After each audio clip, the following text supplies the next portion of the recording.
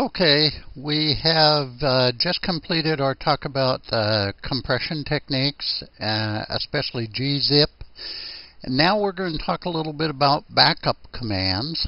Um, uh, basically, the, the, the basic commands you use in backing up a system. tar, cpio, rsync, and, and so on. Um, but before we do this, I want to talk just a little bit about the state of the system when you do do the backup. Because if the system is running a lot of jobs that are writing data to your hard disk and things, then your hard disk is going to be the files on your hard disk are going to be changing as you attempt to pick the data up and put it onto a backup media or to make a backup. So what you'd really like is in order to make your backup, you want your system to be as quiet as possible.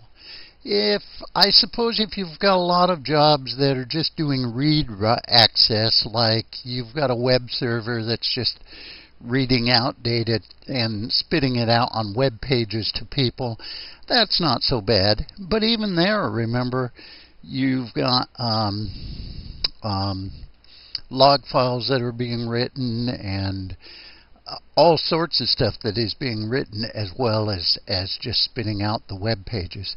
You can get by with a system that is fairly active, but it's much better if your system is really quiet. The other thing is most backup commands do take quite a bit of uh, quite a few system resources to run, and that's going to slow your system down. So if at all possible, you want to do your backups on off hours. That's why people are doing them at 1 a.m.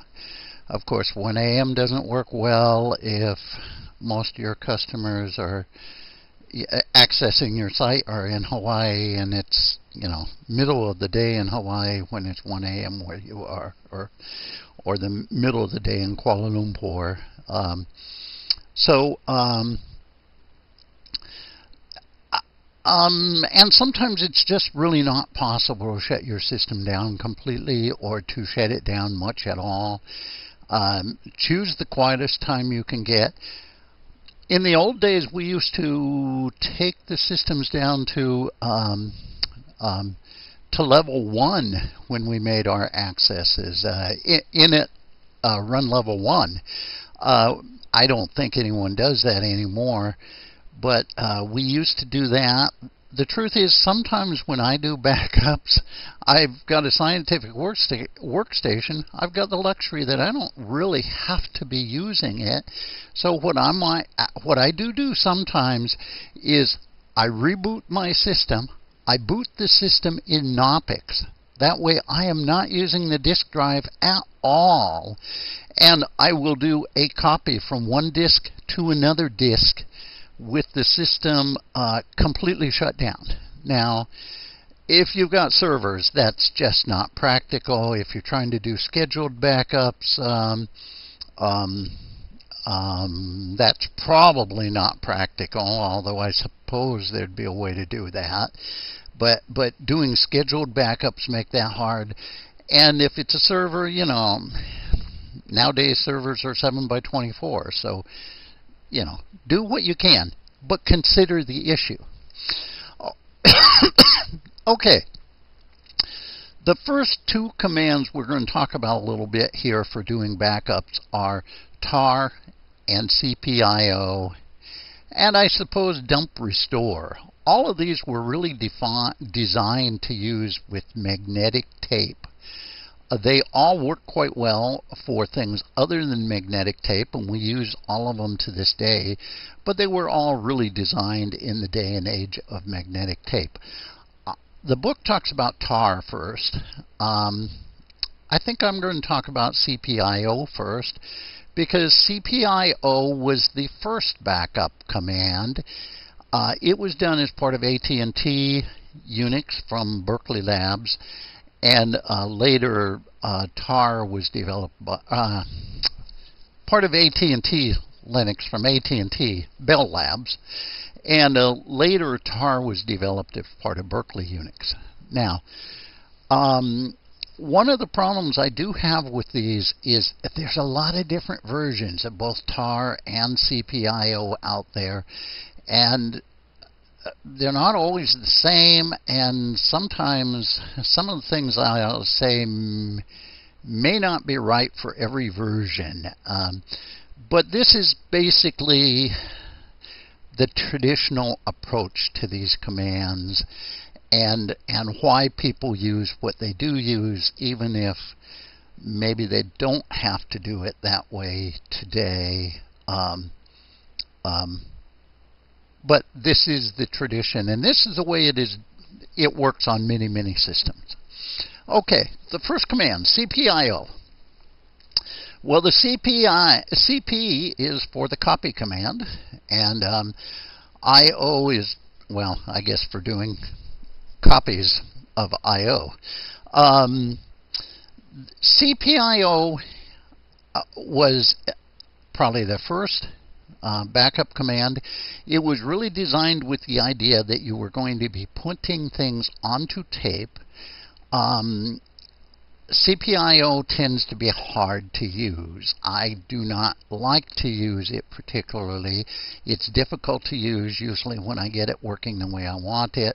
I um, make that part of a script. Um, CPIO is a little bit painful, and we're just going to go over a few of the things you can do with CPIO. So, why would I use a long, painful command? Well, there's a couple of reasons. Traditionally, CPIO can um, a stream from CPIO can be broken up into pieces like you need to do if you're going to put um, um, put it on tape, and it takes multiple tapes. So if you're backing up a three gigabyte, well, say a, a, a 10 gigabyte um, uh, file system, and your tape drive will only hold two gigabytes of information, then you're going to have to the CPIO will basically um, can be used. So you put a tape in the tape drive, it goes to the end of the tape, it says put in the, put the next tape in, you put the next tape in, it goes to the end, and so on and so forth. Tar uh, Tar cannot do this.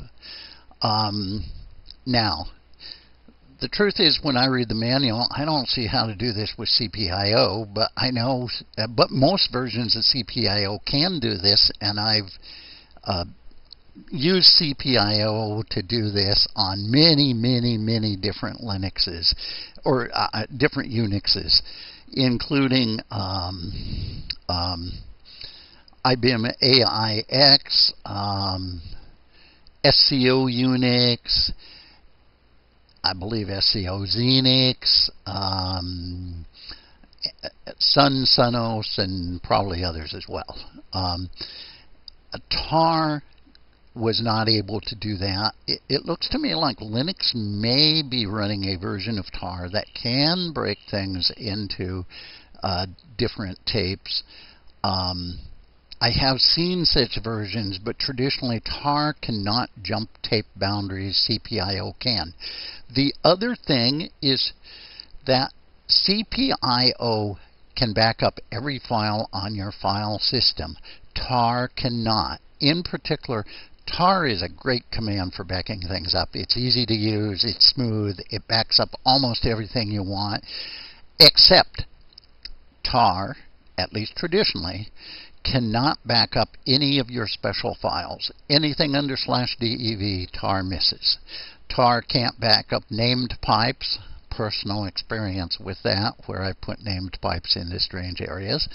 tar cannot, basically tar cannot back up any of your special files. CPIO can and will. Um, so the tradition has been to use CPIO on the root system and tar every place else. And then somebody like me writes a program that uses a named pipe someplace else, and um, I learned not to do that. Um, okay. Um, so let's look a little bit at CPIO here. Let's go over here Now, all of these, while you can put things onto tape, a tape's just a file, so you can put things onto a file too. And the way TAR and CPIO are usually used today is to make archive files. Let's take a little look at what we have in this directory here. We've got a few um, um, directories, and one of those directories here is called summer um, uh, whatever. Um, summer 2011. Let's cancel this. Uh, let's kill the CPIO file. And let's see what we would need to um, catch that as a CPIO uh, animal here. I'm going to go and just bring back my command and this is the way CPIO is usually used. This is a very simple use of CPIO. But the first thing is in order to use CPIO, you have to name the files that are going into the archive. As an example, let's see, I don't want to use this, so I will just echo that like that. As an example, if I would want to do CPIO, um, the minus O basically says uh, to that I'm using CPIO to build an archive. If it was a minus I, it would say I'm using CPIO. I'm going to read the archive and copy, extract everything out of the archive. And I believe it's a minus P for being a pass-through, which is really using CPIO more like a copy command. Um, also a valuable thing to do. The V here is just says spit out um, copies of all the files that get copied onto the archive as or the names of the files that get copied on onto the archive as you copy it onto the archive. Okay, here we're going to say ttt.cpio and well, uh, it doesn't work very well. Okay, well, the reason that doesn't work very well is what I have to do now is I have to give it the names of the files that I want copied onto the archive. So let's give it this name. And let's give it this name. And then I'll do a control D to uh, end the input. Okay, and what I see is I have the CPIO. Um, um, there's my archive. And that, that's basically the way I can make an archive. Now, it's a big pain getting the names of all these files. The way I have to do that is to use the find command. So suppose I want to make a CPIO of all the files in um, the directory summer. I would use uh, find summer. Um, well, that will give me all the directories. Let's just take a look at that file. That gives me lots of file names. Now, it ends up, this guy here is just a, directory, a, a subdirectory name. It turns out that subdirectories are kind of like the find command puts them in the wrong order. So there's a special option on the find command called minus depth that just simply changes the order of the directories. And that's because I've got to be able to tell CPIO when it recovers the files to create directories as needed and it ends up being a lot nicer if I put the directory names at the back. Um, so that option on the find command is just simply for um, um, is is just simply there to use it as a pipe to the find command. Okay, we're going to come back and I'll show you exactly the way to put in this find command to make it work. Um, and um, I'll be back in just a minute here. Okay? Mm, bye-bye.